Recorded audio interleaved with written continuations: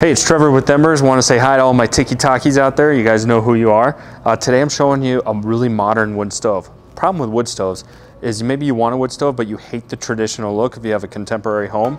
This guy solves all your problems. This is the Bari by Hearthstone, and it comes in a bunch of different finishes.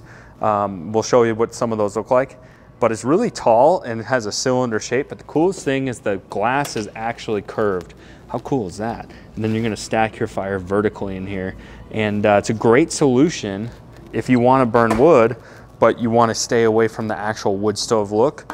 This is a good option for you.